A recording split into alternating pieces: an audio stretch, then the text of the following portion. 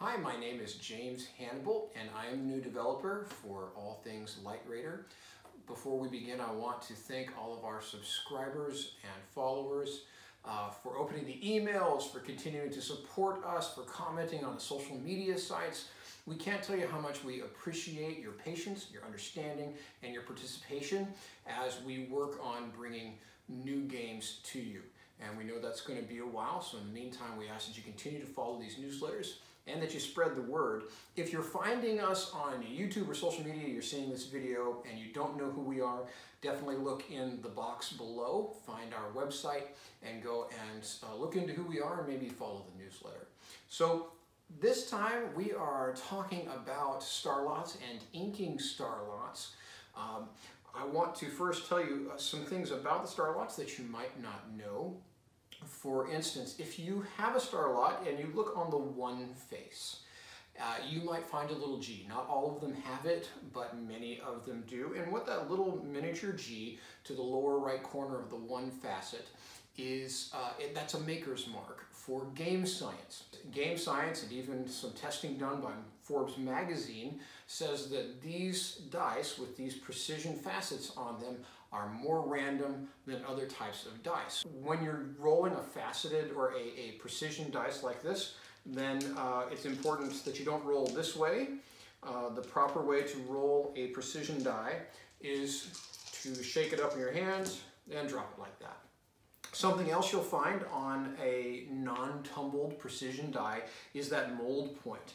Every die has that little rough spot on the uh, on one of the minor facets. And that's there because you can't tumble a precision die and that that would take away from its precision. And uh, if you're interested in uh, sanding, sanding that away you certainly can. You can use um, the same kind of tools we use to work on gaming miniatures uh, to sand away that that mold point and maybe we'll do a video on that in the future. So what we have are uh, the crayon which is the original way from Dragon Raid. Uh, if you were if you got the game back in the 80s, it came with the white crayon, and that's what you use to fill in the numbers. We also have uh, some gel type pens, so we're going to look at those and the pluses and minuses, and then paint pens. Uh, I also have uh, some microfiber cloths and a standard handkerchief with uh, that's been uh, moistened just a little bit. The last thing on the desk is glass polish, and that's uh, cerium oxide, and we're going to use that to uh, grind away some of the paint when we use, we use the paint. Um, so let's get started. Okay, you might notice that I am wearing these blue protective gloves. That's because crayons are so dangerous. Uh, no, that's not because crayons are dangerous. It's actually because we will be using the cerium oxide later and uh, it is an abrasive. It's a glass polish. It's extremely fine. It can get everywhere. So it's important that when you're using cerium oxide, even uh, infused into the microfiber cloth like I've done here, that you use the protective gloves so that you don't get it into your, into your skin. So safety first. Okay, but the first way that we're going to show you how to ink the die is the simplest and easiest way. It is the use of a crayon. And uh, most of you probably already know this. You just rub the crayon over the number and then uh, you can probably just wipe it away with a finger just like I'm doing now uh, or if you're a little bit OCD like me you can rub it away with a moist handkerchief uh, and just with a little bit of elbow grease here we have this nice lovely five all filled in and believe it or not that's going to last a very long time. The next thing we're going to talk about are the gel pens. Now I've got several different kinds here. These are the uh, Gelly Roll pens, these three here. Um, the white, as before, is always the most visible. My second favorite is the silver. Uh, the silver looks a little bit cooler, but it's not as visible as the white. And then also you can use gold, but be warned, if you use the gold pens on the yellow starlots, the amber starlots, it's, it's not going to show up uh, and you'll find yourself squinting at the numbers a lot during gameplay.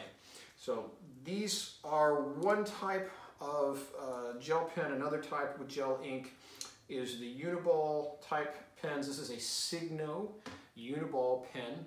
And this is my absolute favorite of the gel pens. It's extremely easy to use. The ink flows really, really nice. um, and it wipes away clean uh, from the facet once you're done without wiping away from the numbers. The downside to these pens is that the, uh, the ink is not, uh, the ink is water soluble. So even if it says permanent ink on the pen like this one does, uh, that means permanent ink on paper, not on acrylic.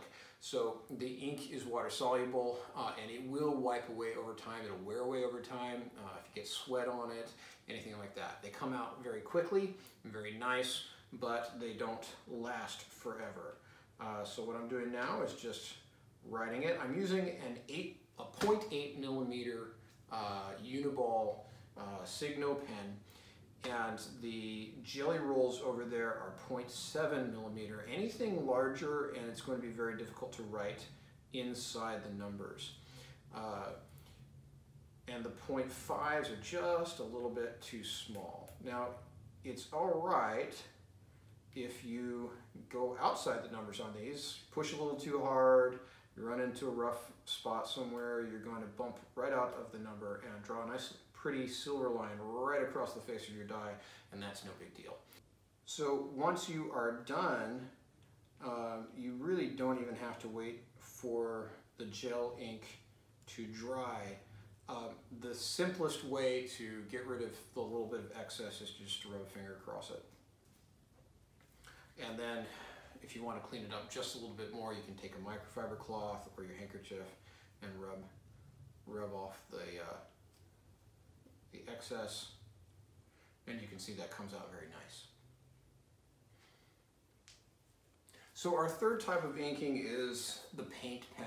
Now, like we said, the problem with the gel pens is that it's not permanent. It does wear away over time. You're going to have to redo them. It's no big deal because it's so easy with the 0.7 and 0.8 millimeter gel pens. However, if you want the permanent solution, that is the paint pens. And we have tried them all for you so that you don't have to. So has Game Science. Uh, Game Science recommends the Deco Color. Um, by the way, pro tip, don't shake those up with the cap off unless you want a silver splatter line across your glasses. I won't tell you how I know that. Um, but we, we have tried them all uh, just to double check Game Science's conclusion, and they are correct. Deco Color is the correct pen to use for these. Um, I've tried the Artistro pens um, and the Fine Point Sharpie pens. They are much more difficult to use. Uh, you can use them and use the same process I'm going to show you with the Deco pen. And the problem is, is the Sharpie pens tend to be gloopy. Uh, you'll end up with, with a big white puddle over one face of your die. And the Artistro paint is as permanent as it gets within minutes. So by the time you're uh, getting ready to wipe off the excess, uh, the dry paint with your microfiber um, glass polish cloth, the Artistro is so solid that it takes a great deal of elbow grease to get it off. It will work, but it's a lot more work than using the Deco Color. All right, so using the Deco Color pens, and again, don't shake these things up with the, the uh, tip the pen off, or uh, the cap off. They have, they're the metal tip that you have to push in a little bit to get the paint rolling. Um, but that extra fine point fits nicely into your numbers and you can just fill them in very quickly. Now, because it's a one of those paint tips that loads itself up, it will bleed out the edges of the, of the numbers. Okay, so we went away for a few minutes and we allowed the uh, Deco Color paint to dry on the uh, one hemisphere of the die that we did here. And now um, we're back to the microfiber cloth with the cerium oxide. It's glass polish. Again, we're using gloves um, to protect our hands. And I'm just going to rub away the, uh, the, the excess paint here. And with the Deco Color, that happens fairly quickly. And you can just wipe away the excess paint and it comes away very cleanly, very quickly, uh, and leaves a nice number behind, nice inked number behind.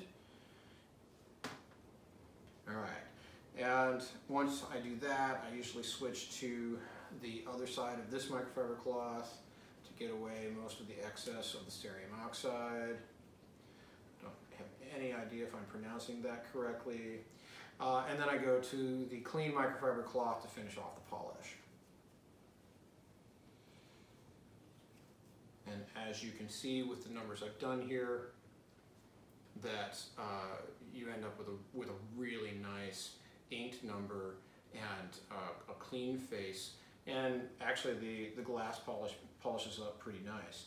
Um, the uh, cerium oxide will get onto that mold point that we talked about earlier and just a moist handkerchief will wipe that away so that it's not highlighting that. Okay, so that's what we've talked about. We've talked about using the crayon, the easiest way, the fastest way, and it's not going to affect the randomness of your die if you, if you roll them the way that they're designed. You can uh, use multiple colors. This is very fast and it will last a long time. Somewhere in this office I have a blue die with white crayon, probably this crayon, uh, from 1985 and it still has the numbers. They all look sharp. Um, but if you don't like that, you can use the gel pens. They are very quick, very easy. They're, the, the excess runs, rubs away with the finger. The problem is that over time they're going to wear away. Uh, and if you have sweaty hands, it's going to wear away a little faster. And then finally, we've been using the paint pens. The paint pens are permanent. They come out clean. And if you use the cerium oxide, I know that, that others use the paint thinner pens that, that wipe away.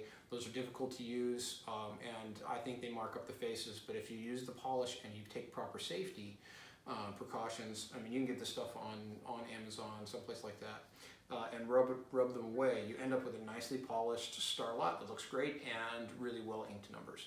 So that's it for this time. And again, thank you for tuning in. Thank you for subscribing to the newsletter. Please tell your friends about us and spread the word. Thanks a lot.